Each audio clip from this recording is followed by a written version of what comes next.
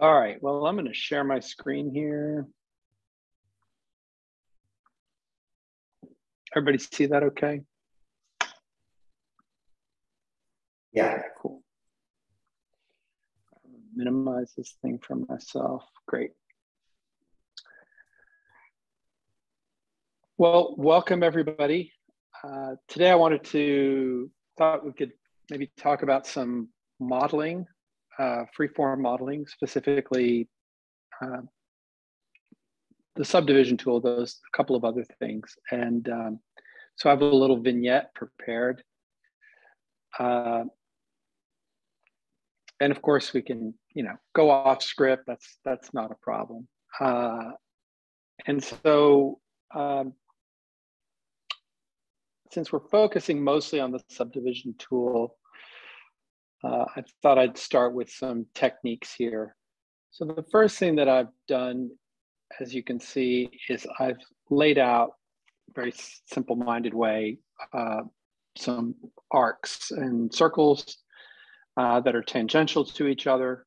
And uh, the idea here is to model a swimming pool, which, you know, in architecture, unless you do some really kind of a, gourmet uh, kind of work, uh, probably not a lot of call for subdivision modeling, but um, perhaps swimming pools might be something that that uh, would be something that you would use it for. So I thought I would uh, use that and uh, along the way, I discovered uh, some uh, things that the subdivision tool won't do, and so have to find some ways to accommodate that. So imagine this is a, a, swimming pool layout for something a little more organic than just a, a rectangular pool, obviously. And I've just I've just drafted it um, in. Uh, yeah, I did know that. Thank you. I just drafted it in 2D, very simple uh, did some tangents and so forth. Um, and uh, let's see, why do I have this? Oh, yeah, yeah, yeah. So bear with me a little bit. So once I've got this sort of, uh, you know, basic uh, outline here that I've just that I've just selected and I'm dragging off, right? Uh, what I really want to do is I want to create what's called a, a cage. So if you think about these curves, right, uh, those curves are tangential. There are lines that are that are tangential to those curves, and vice versa.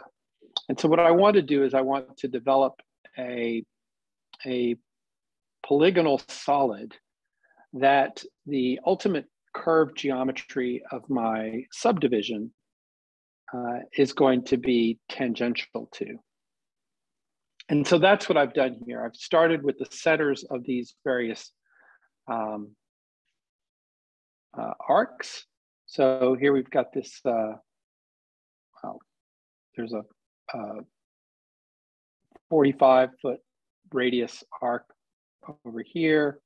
So I've got this line is perpendicular to that tangent. So I've drawn it from the center of the arc right? And then I've drawn this line from the center of this circle and drawn a perpendicular to it to derive this tangent and so on. So by doing that, I've developed these three uh, tangent lines that are beginning to describe a polygon, right? So if I, um,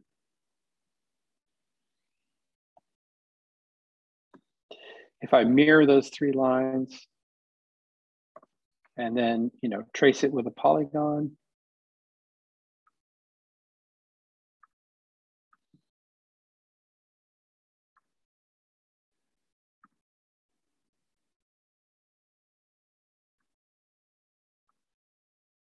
Like that, right?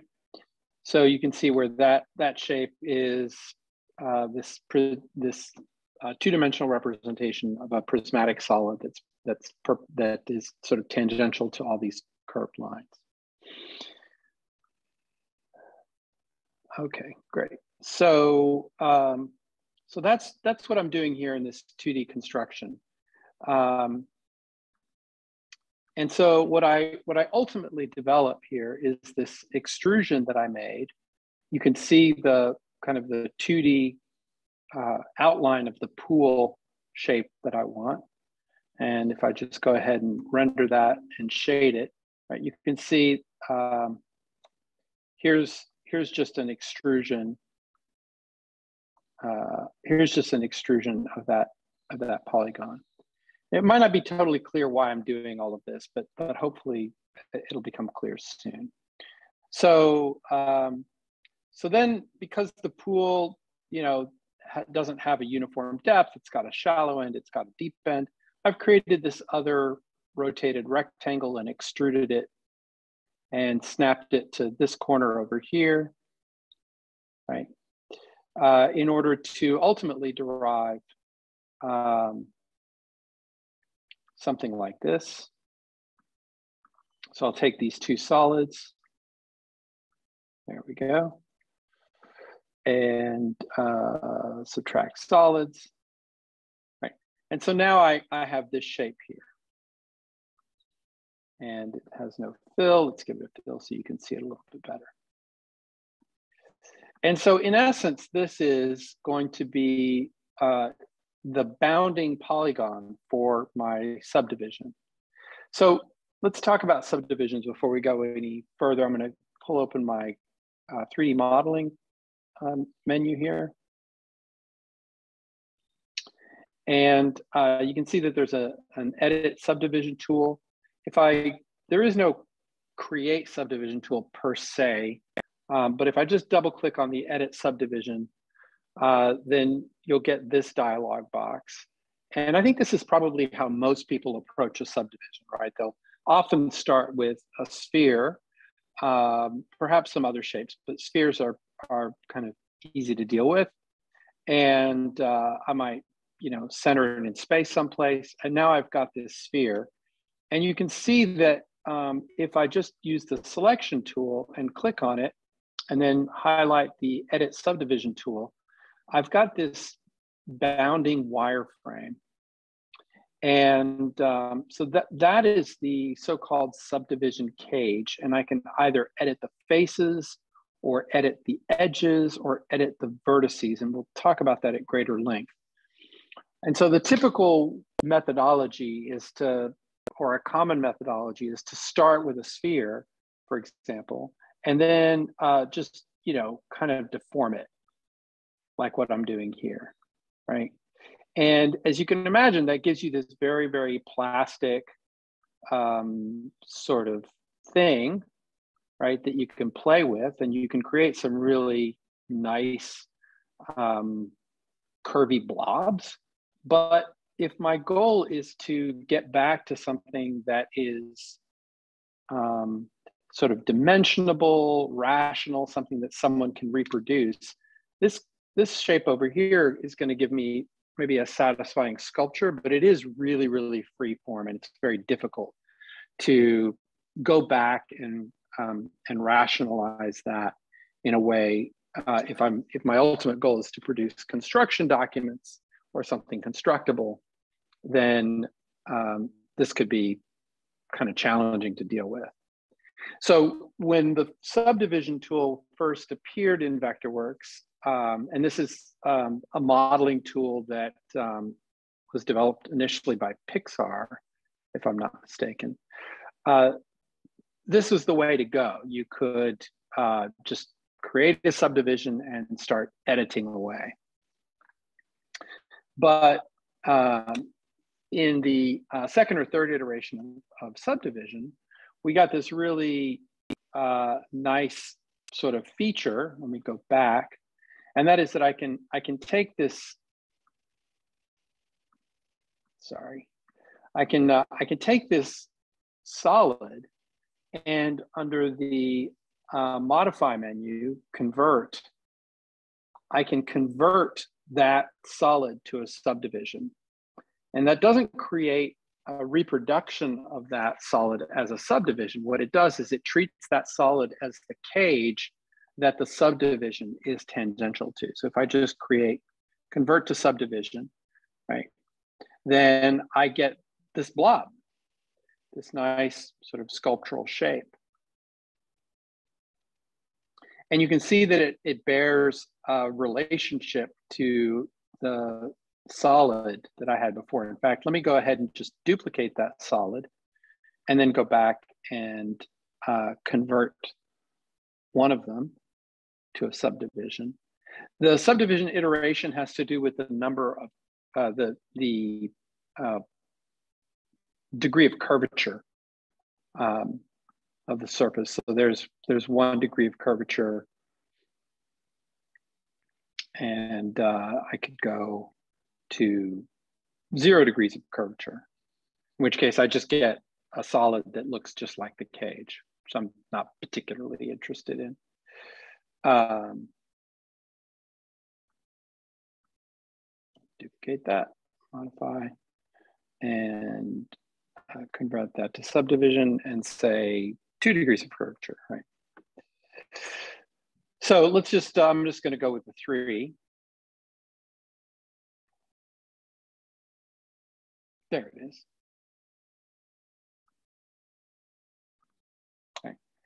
Uh, and, and now if I make this with no fill, you can see the relationship between the subdivision and the prism that I first generated from. And in fact, if I uh, hit the edit subdivision tool and activate that subdivision, you can see that the cage, those defined by these little black handle points corresponds exactly to the prismatic solid that I generated. All right, let me just take a quick pause here and make sure that everybody follows me so far. Maybe since I've sort of jumped in the middle of it, maybe you have some some questions. Any any questions from anybody? Hey, Francois, I just want to commend you for a very clear explanation thus far. And also, I love that you called out the folly of making sculptural objects, but then what to do with them.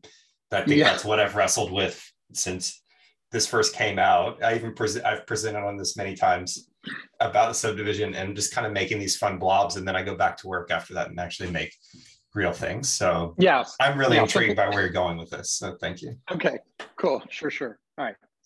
Um, yeah, so that's that is in fact that is in fact it. So so now that we've got this subdivision, let me go over to my to my next phase. Actually, I'll just stick here. I'm, I'm right here.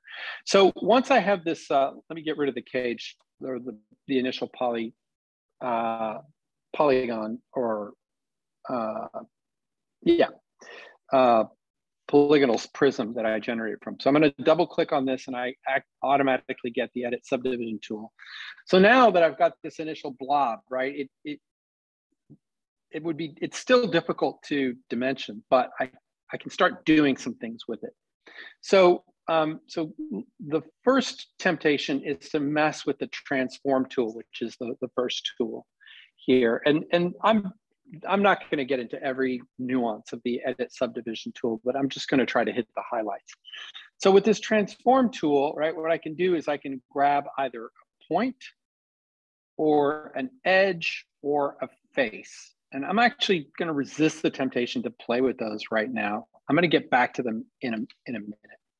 Um, but uh, you can see that when I, when I grab one of these tools, um, I get this uh, little green, red, blue object, which is uh, called the dragger. And I can grab any of these arrows and drag in that direction so I can deform the, the subdivision that way, right? Uh, or I can use one of these arcs and I can then rotate, uh, which in, in this case, that's not doing very much if I'm rotating this way. But if I say grab this guy and start rotating, you can see how I'm like twisting the subdivision. So again, like to, to Jacob's point, like, yeah, you can make some really cool sort of shapes with that, but you know, now what? So uh, see, let me undo. That, that was actually your point, Francois. I was just reiterating that. yeah. Okay you're you're certainly enlightening enlightening me for i'm like hey let's who wants to start a pool business like this looks really cool you know all right so the next thing i want to do is i want to play actually with this next tool um, and this is the crease mode of the of the, it's the same tool, crease mode of the subdivision tool. And what that allows you to do is click on one of these edges and create a crease. So I'm just gonna click on that edge and you're immediately gonna see what's gonna happen, right? It, um, it starts to create this sort of ridge, right? This kind of uh, here. So let me go back to my tool. I'm just gonna go around and as I go around, I'm, I'm creasing this. So if you're familiar with, uh, with Bezier's, right, this is sort of analogous to uh, converting the, the edge of a polyline to a straight line segment, only in three dimensions. So, hey, look at this. I've got this nice flat top to my uh, subdivision. Let me deselect it so you can see it. I mean, it is nice and flat. And suddenly that's starting to look sort of believable as um, a swimming pool or something like it. So in fact, that's that's what I have over here. And uh, now that I have this nice creased edge, now I can double click on that and I can go back to my transform mode, right? Uh, this first mode. And uh, I've left, I've kept my initial poly line, which you'll remember from my very first slide. That's, that's basically this shape that I described over here. So, whoops. Uh, I've kept that as a kind of a guide. And so now I'm gonna double click on this and uh, I'm gonna grab the transform mode and um, this isn't gonna be perfect, but it's gonna be, you know, not bad. Uh, so I'm gonna, you can see that the dragger on this edge has a blue and a red. Again, the red is vertical, the blue is along the axis, and the green is perpendicular to that edge. So I want the green, and I'm gonna start dragging it uh, until I'm just about touching that green uh, line, which is the defining boundary of my pool shape that I want. Now notice that the heads up display is giving me a value here, right? And I can drag my, you can see from the, the red dot that is following my cursor, I can drag my mouse up or down or side to side. And because I selected what is now highlighted as the yellow arrow of the dragger, I am constrained um, to just drag this edge in that particular direction, which is really kind of nice. And so you can see that I am getting a distance here of about nine inches or so, nine, nine and a half inches. Now I can't, I can't snap to this uh, green edge, right? I'm, I'm still approximating, but now I'm just gonna type nine, you can see that on screen, and hit return. And now that dragger has moved that uh, tangent edge exactly nine inches from where it was before. Because, you know, I love symmetry, I'm now going to grab this edge and grab this arrowhead and start dragging, and I'll type nine again. Right. And so then I can grab uh, this edge and I can drag and I can say, oh yeah, I need to drag about six inches. So I'll type six. And then I'll take its, its analog and I'll drag six inches and um, so on. So I'm going around and I'm trying to fit this very sculptural shape to this rationally drafted um, polyline, right? It's, it's not perfect. Um, uh, again, I'm not snapping to it, so it's an approximation. Uh, but after a while of sort of reshaping it, right, I, I can get reasonably close. And uh, if I spend a lot more time, I could probably get even closer. And again, I could take this this point right here, right, and I could even um, this is kind of tricky, so let me go around to the other end here. So I could grab this point and I could rotate so that I'm in line here, probably 30 degrees, right? See how I've been very you know, I'm using the heads up display to, to do this in a very rational manner. And then um, minus three inches, say. So I can go around and really get a pretty close fit to this um, polyline. Uh, honestly, probably a closer fit than the uh, than I suspect the the uh, the pool uh, contractor uh, is going to do with with gunite. I gotta uh, uh, be able to, to get fairly precise. Francois? Yeah.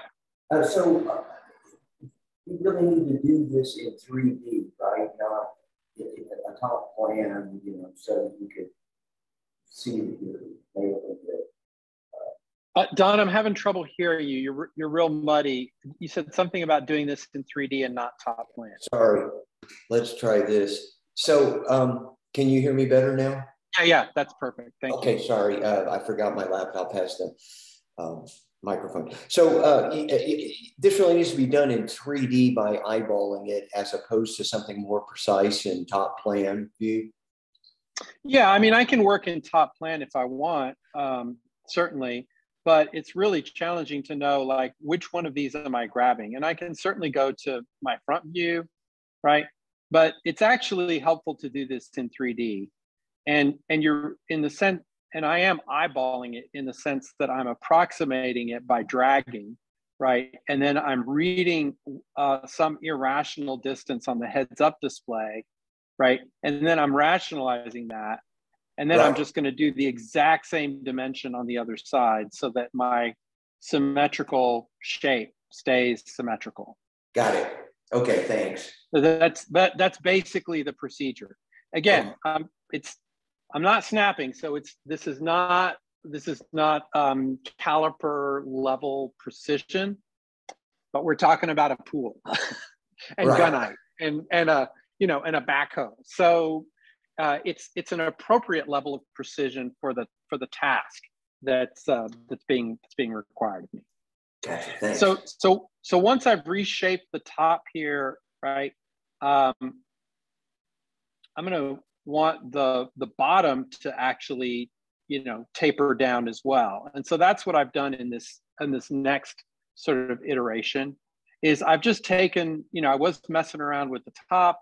I've just taken the bottom because any one of these uh, any one of these draggers is is is fair game, and so I can just take these and and make the pool as you know the sides as steep or as shallow as I as I want.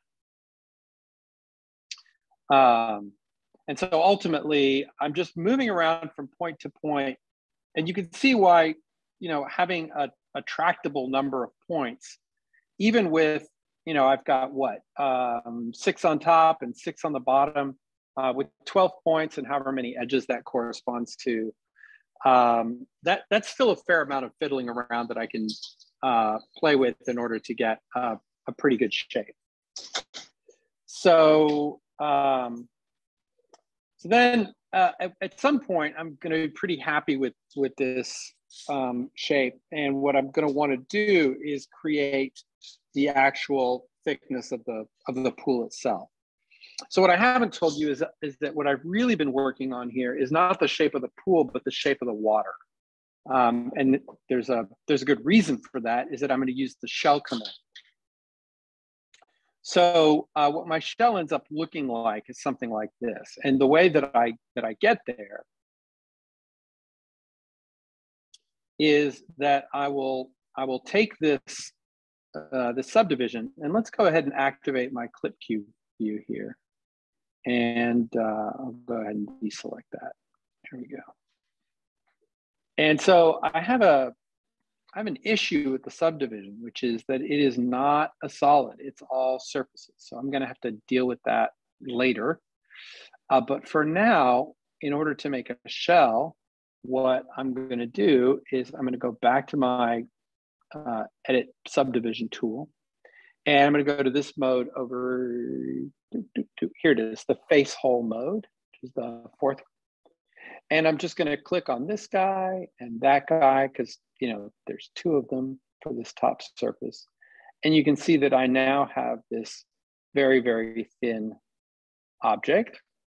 And uh, it looks like it's just ripe for the shelling. So let's go to our 3D, back to our 3D modeling menu and uh, go to shell solid and we'll give that a thickness of about 12 and we'll go to settings and make it outside. And then I'll just uh, click on the subdivision and hit okay and whoop shell creation failed because subdivision is not actually a shape that can be shelled. So um, so uh, that is, I'm yeah. sorry to bother you but I looked away for just a second and you did something to create this open bowl. Yeah. And I didn't see what you did. Could you just tell, yeah, just what did you do to do that, please? Yeah, yeah. So in the, in, I just double clicked on it and in the subdivision tool, yeah. right, the fourth mode over here, uh, sorry, the fourth, uh, one, two, three, four, fifth mode over here is the face hole mode. So I clicked on that and I can actually click on any of these uh, faces and make them open. Got it. Thank you. But I just made the top open. Yep. Um, so I can't shell this, uh, but what I can do is I can go and I can convert this to uh, NURBS. So at this point, this um, this particular shape because I'm going to go back and I'm going to use it for the water that that rests, you know, that fills the pool. Um, this particular shape is uh, something that I want to keep. So, uh, so what I actually want to do is I don't want to convert the subdivision itself to a NURB. Uh, I want to convert a copy of it to the NURB, right? So, so keep the subdivision um, off to the side on another layer or in another file or, or whatnot.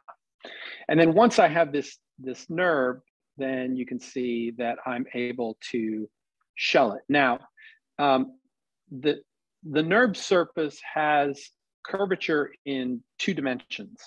And so if I, if I go back to this, all right, and I try to shell this, where are we? Here we go. And um, well, that's a group, so I'll ungroup it. And I try to shell this and I hold down, say the shift key and do um, multiples, right? I'm gonna get some failure. So what I need to do is I need to shell these, um, whoops, lost my shell. Shell these one at a time.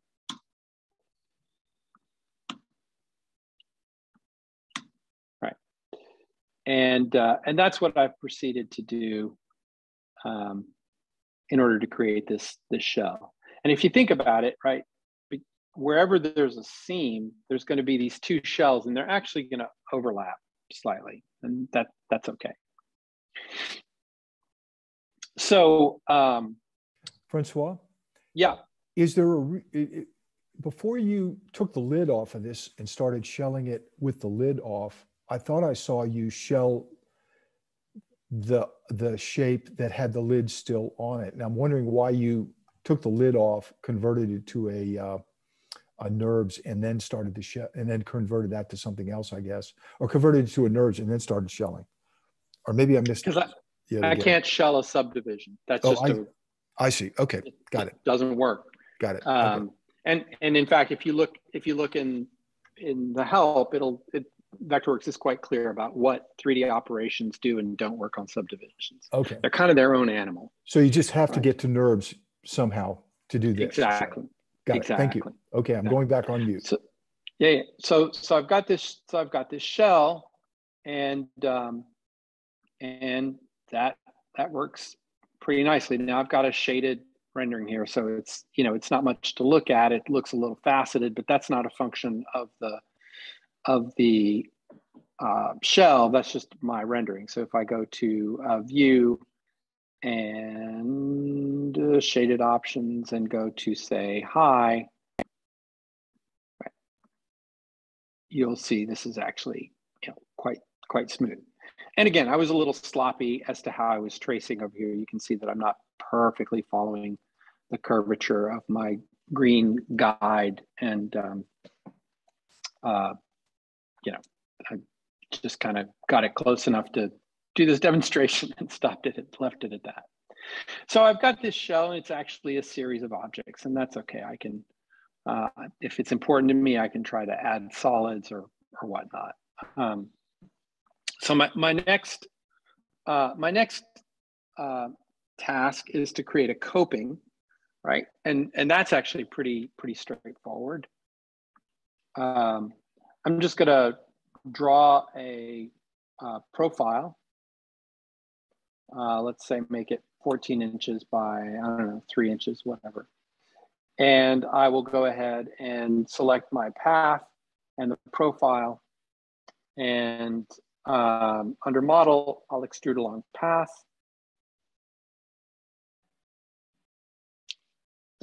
And I'll get something like that. Um, so I actually fixed that in the next um, in the next view here. If I double click on this object, you can see that I can uh, select either the path or the profile. And what I've done with the profile is uh, there's the that locus there, that's the insertion. So that is uh, in essence, the path in section as it's pass as this profile is being swept around and extruded along that path. And so I've got it overlapping by a couple of inches to the inside of the path and about 12 inches to the outside of the path so that I get I get this situation. And along the way, I created some classes for myself.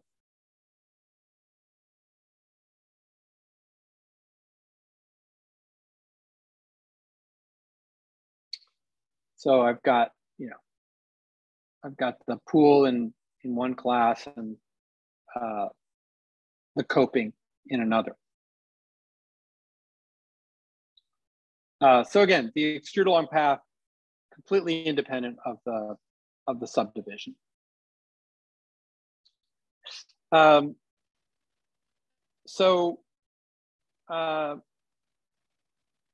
at a certain point, I'm gonna wanna get some water in here. So I've got a, uh, I've got a solid, that's, you know, this over here, that's my original subdivision. And then uh, what I did is I just created this rectangle and extruded it and I just lowered it by about six inches. So I'm just gonna, just gonna uh, subtract solids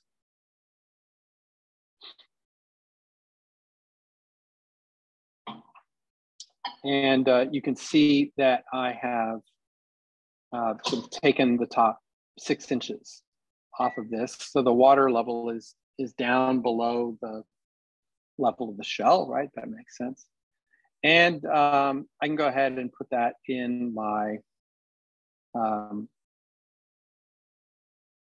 water class, which I can give a texture or not.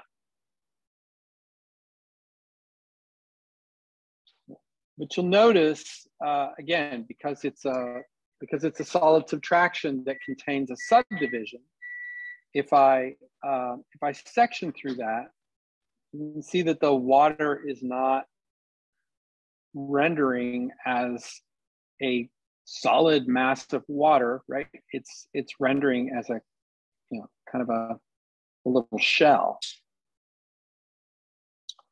Uh, so what I need to do uh, in that case is um, a couple of things that I tried. Um, let me go ahead and, and uh, one thing that I that I tried with this is um, I figured, well, if it's if it's not rendering solid and I want it to be solid, right, then maybe I could try converting it to a generic solid because that's a solid and I can do that. Um, and you can see that when I converted it to a generic solid, nothing happened, right? It looks exactly the same. So then I thought, well, okay, let's uh, let's convert that to a mesh. That's another kind of 3D object, right? And meshes are usually uh, render as solids. and uh, once again, I, I struck out. And so I've got to I got to credit uh, Pat Stanford, uh, and uh, Pat gave me a, a very useful tip, which is first convert it to a mesh, and then convert it to a generic solid. Or is that the other way around? Might be the other way around. Let's see.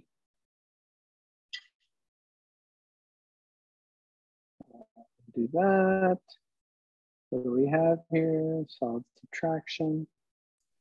Oh, let's go. Yeah. Francois, is it going to affect it if the subdivision still has a face hole applied to the top? No, I don't think so. I mean, this one doesn't, right? Because this Okay. is the this is the water, not the It came before. So, itself. Right, right. So, so I'm going to go to the subdivision that's inside the subtraction here, and uh, convert that to a. Think the order is mesh, and then um, generic solid. There we go.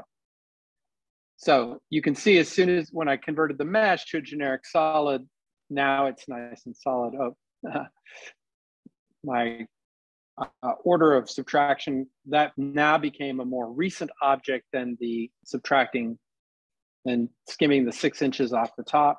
So I just need to bring this rectangular prism uh, to front. No, really.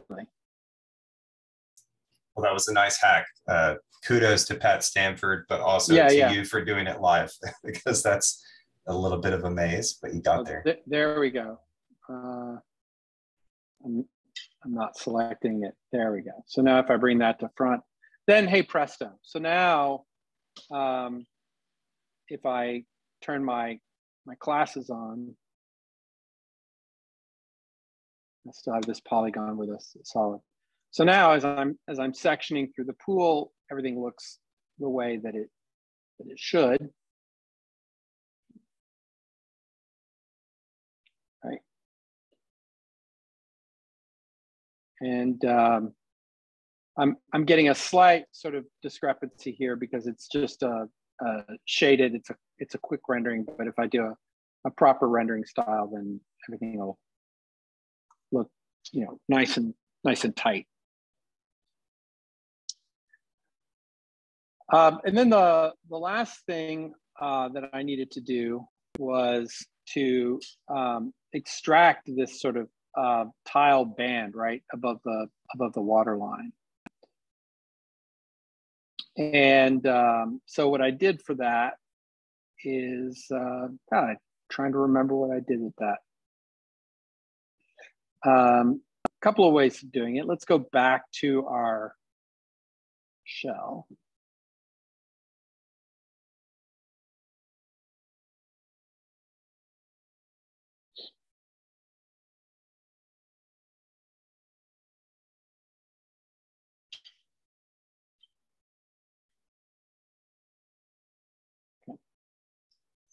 So, so now that I have this shell, I can go ahead and draw a rectangle, move it down, say six inches or four inches, whatever.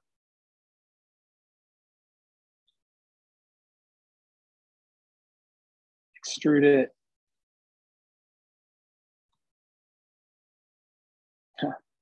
Might help if I gave it something other than extrusion of zero, right?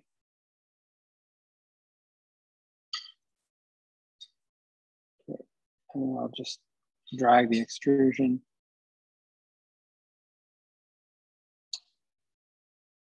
Let me go back to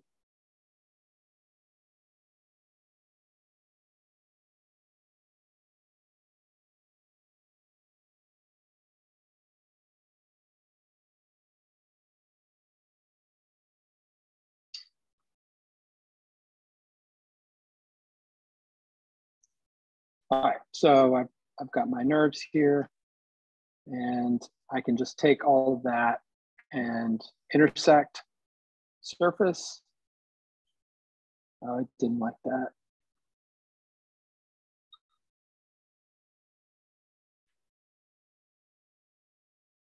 Huh.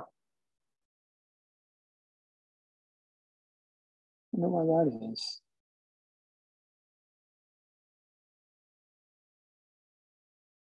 Nope. Doing the same thing over and over again. I know that I managed to, well, maybe I'll do it this way. Francois, what if you Yeah. what if you pulled that down and just left the top six inches? Yeah.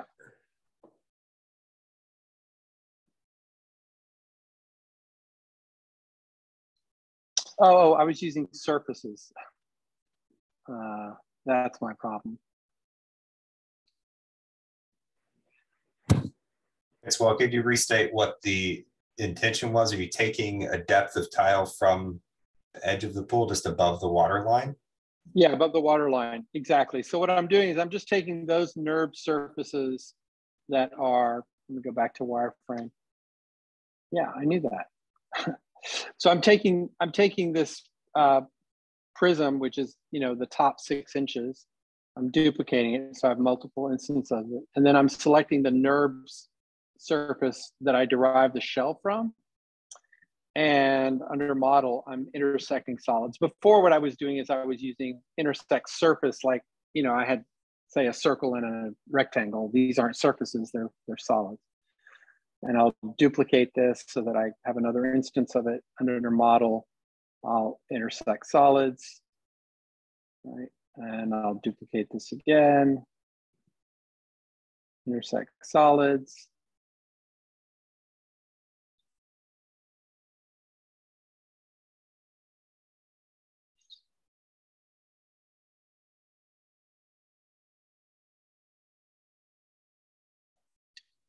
So now I have this nice sort of band. And uh, because these are intersections of NURBS derived from sub, a subdivision, but not an actual subdivision, then I can go ahead and use the shell command, just like I did before, only this time I'm gonna shell it about half an inch and uh, to the inside. So I'll just shell that one, and I'll shell this one. And I'll show that one. And so on and so forth.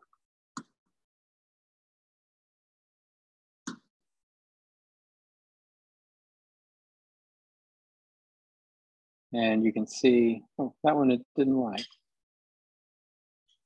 Wonder why.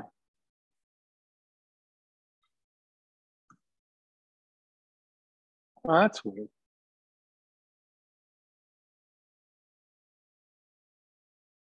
Very odd.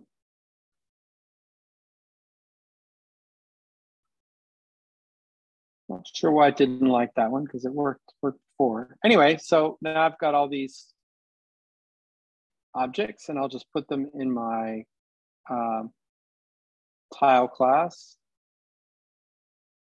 which is off. So let's turn that on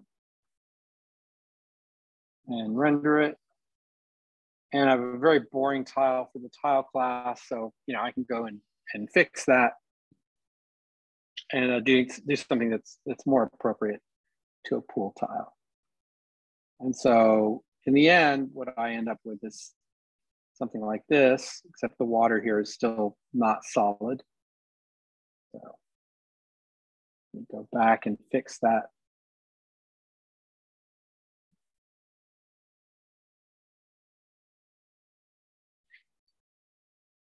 convert it to a mesh, and then convert the mesh to a generic solid, and then send it to back.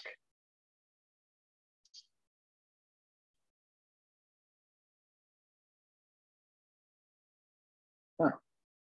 What's going on here?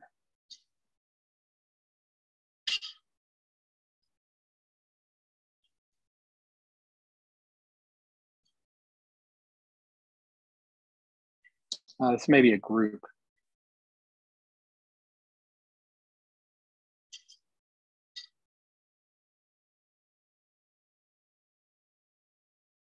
Huh, interesting. Didn't like it that time. Well, I'll go back to my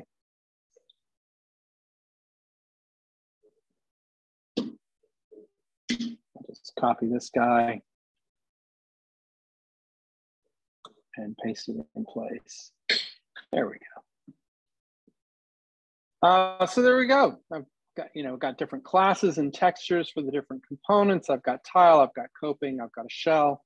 Um, and again, all, all along, I'm going to want to have kept that um, initial subdivision off to the side in case I need to go back and tinker with it. And I really want to make sure that I got that right because, of course, once I've shelled everything and so forth, um, uh, it's not very editable. So the ability to uh, edit the subdivision with the dragger and so forth, if I decide, no, I, I need a shallower pool, I'm going to need to go back to that primitive and sort of backtrack and then and then move forward. Um, but that, that's the that's the basic idea. So if I ran through that a little quickly, any any questions?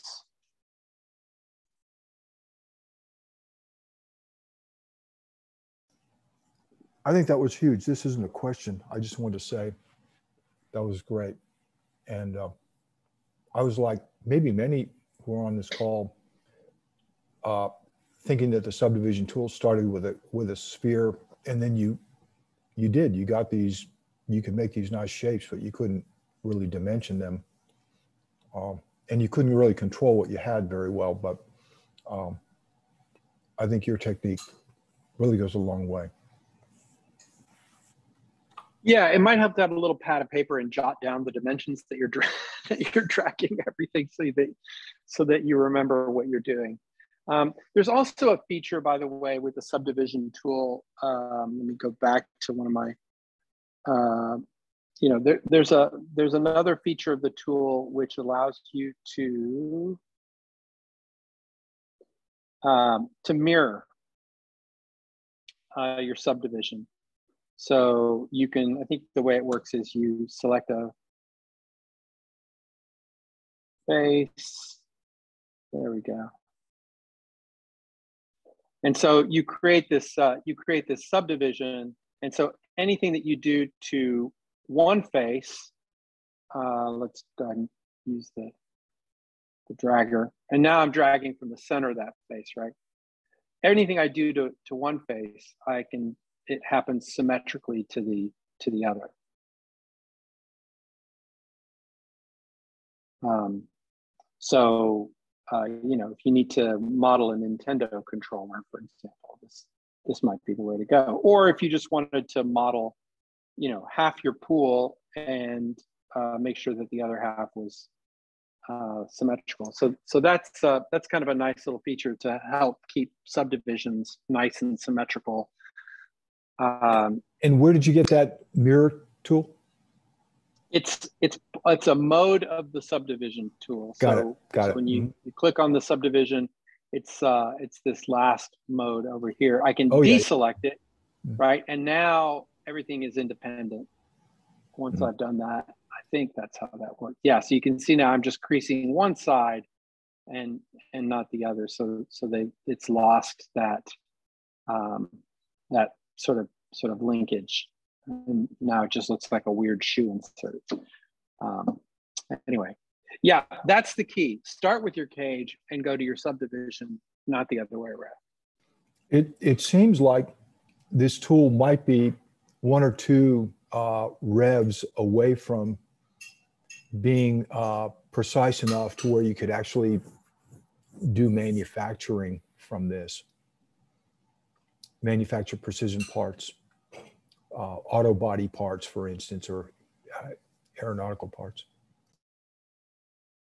Yeah. Uh, uh, I mean, this, I assume this is how people do that kind of stuff. I mean, that is that is ultimately a sort of a sculptural thing, and and obviously symmetry is is important for things like auto bodies and uh, airfoils and so forth. So I'm um, assuming the same, and, may, and maybe uh, CATIA, which I think is the used to be anyway the standard tool for aeronautics and even uh, uh, automobile design.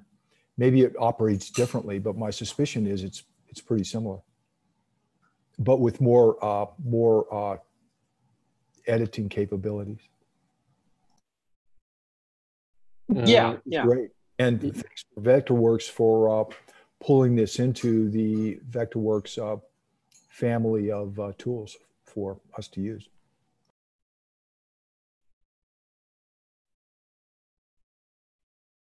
Uh, any other questions? Yes, Francois, one quick question, if I may. Sure. Um, now that I've seen where you're going with this, could you go back to the very, very first step where you had your tangents and your circles and you created that box around it and just kind of quickly explain where you got that from? Sure, sure. Well, I'm, um, I, so um, I just drew these two circles sort of fitting roughly a, a, a golden section, right? And I put them tangential to each other. So they're just touching. Um, and, uh, and then uh, I just drew a tangent arc to those two. And um, once I once I did that, uh, then I was able to derive uh, this shape, and uh, that that was pretty easy. That was just um, you know selecting these two circles and infilling, uh, holding down the Shift key, and infilling over here. So now I get this this shape. Um, but um, I drew from the center of each of these three arcs. I mean, I guess there's four, but um, uh, from the center of the three arcs, I drew these lines and then drew perpendiculars. So all of these orange lines are tangential to the curve. Now, obviously, there's a certain degree of um, kind of decision making on my part, right? Like I, I chose a 30 degree angle here for for for this, but I could have just as easily drawn a tangent at that point, in which case I would have, you know, duplicated it rotated it left and then, you know, snapped at the tangent over here. Uh, so, so there's a certain amount of, of discretion that I have in, in finding these tangent lines because there's an infinite number of them. But once I get the three tangent lines, then I just mirror them about the axis. And um, that's how I um, you know derive this this cage. So Got it. thank you. Yep. Uh, so so the cage you know basically the cage just starts with some very simple solid modeling operations extrusions.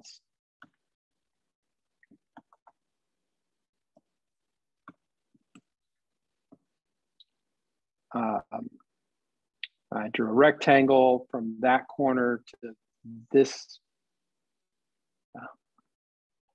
Ooh, let's go. That's why I think that initial that initial 2D drawing is really key to success with the subdivision is actually starting with that template, so to speak. Reminds me of wood carving. You start with that block of wood and just draw the profile of what it is. You eventually want to whittle down. Um, yeah, that's effectively what you're doing there. Well, it's it's a it's a it's kind of an architectural approach, as Al might say, rather than you know say a like a sculptor probably wouldn't do that, right? a sculptor who was using this tool for a different purpose would just start with a blob and kind of play with it until they got a satisfying shape, which is you know that's fine too, not, not a problem with that. But um, yeah, so Harlan, so there there's uh, you know there's the cage, and then once I have that, then it's simply a matter of doing a uh, convert. I see. Thank you. Just I wasn't sure where we were going when you started. How this was going to yeah. end up. Yeah, I kind of started in the middle. Sorry. Uh, and so, could I ask even the uh, the a simpler question than that, and that is, how did you get that tangent curve to be tangent to those two circles?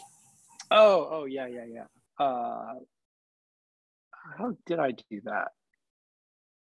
Uh, Al, I think what I did is um, I started, the way I often do that is I'll just start with an arc by three points and I'll kind of eyeball uh,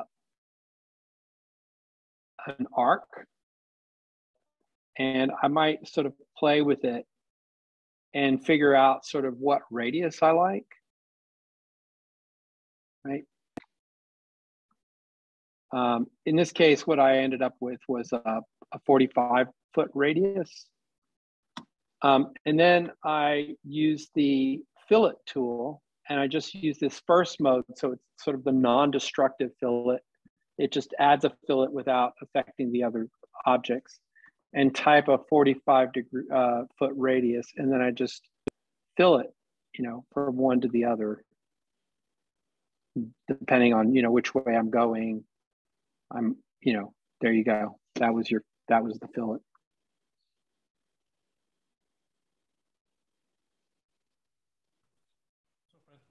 Um, if you were giving this to a pool contractor, let's say, and you wanted to tell him like the depth of the pool and sort of the inverse topography, how would you do that? Would you do like section, uh, just cut sections and dimension those? Yeah, yeah. You, uh, yeah, yeah, just just create section tool kind of thing where you actually get the lines and that kind of thing where they could really nail it.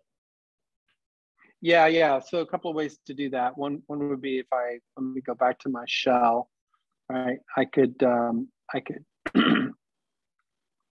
use the um, under 3D modeling. If I wanted to give it contours, I could create use the create contour tool and uh, specify a contour increment, say a 12 inch contour, and uh, just uh, draw a line horizontally right? And you can see that when I do that, it created all these contours for me, oh. sort of.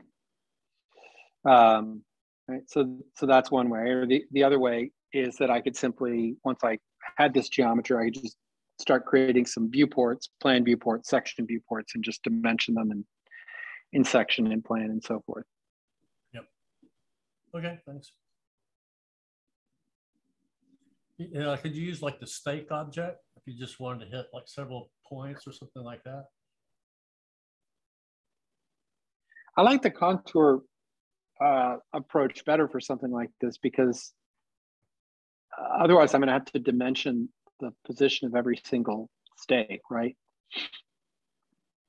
I mean, I guess ultimately we'll have to. When, when they do grading, you know, they put stakes out every so often, you know, and yeah, not ever, you know, every foot or whatever. Um, you know, just give them something with, you know, a few a few points. Yep. That might work too.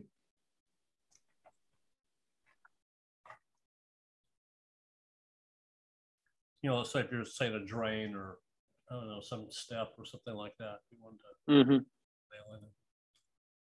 Yeah, obviously I haven't put in steps or anything here and and I can get a lot more complex with this with the model. Throw in a beach, get more detail. Certainly. All right, thanks. Hi, you bet. All right. I think that pretty much covers um, the extent of my knowledge here. Uh, John, thanks for the input on the SolidWorks. Um, appreciate that. Um, all right, everybody. Well, um, I guess I'll see everybody next month and uh, I'll post this um, on YouTube as usual pretty soon. Thanks.